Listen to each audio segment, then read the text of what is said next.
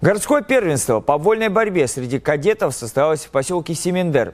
Соревнования прошли на базе спортивного клуба «Олимпиец». А сам борцовский турнир для многих ребят стал первым и самым волнительным в практике. Сюжет Камиля Девятого. Быстрее, выше, сильнее – девиз Олимпийских игр. И несмотря на то, что эти соревнования по масштабу уступают Олимпиаде, для ребят, которые впервые вышли на борцовский ковер, он актуален. Данные соревнования – большое испытание. Горечь поражения и вкус победы юные борцы почувствовали впервые.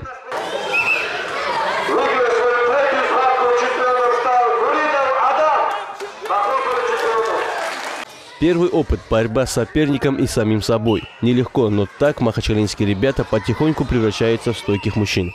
Есть ребята, которые более-менее, которые уже месяца два-три занимаются, есть новички, есть такие, ну, разного, можно сказать, уровня ребята здесь борются.